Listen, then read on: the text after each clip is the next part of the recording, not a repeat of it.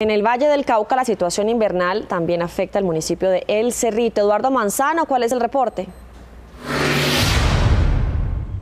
Catalina, muy buenos días. Pues mire, la situación eh, complicada se presenta a esta hora en el municipio del Cerrito. Este es el corregimiento de Santa Elena, el barrio El Florido. Aquí 20 viviendas resultaron afectadas, hay 20 familias damnificadas.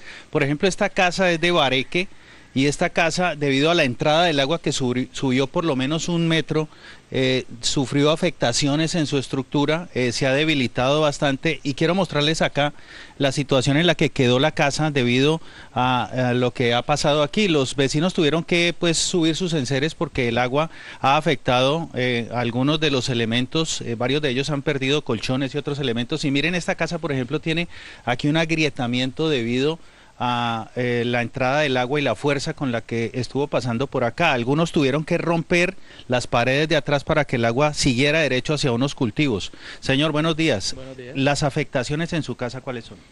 Pues colchones mojados, eh, la casa se me averió, como lo están viendo ustedes.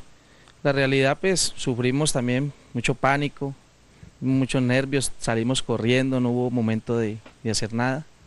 Muy bien, eh, son, son 20 familias en este sector que están afectadas. Camilo Carmona es el presidente de la Defensa Civil aquí en el municipio del Cerrito. Además de las inundaciones acá en este sector, eh, hay eh, afectaciones también en, en, el área rural en vías. ¿Qué ha pasado?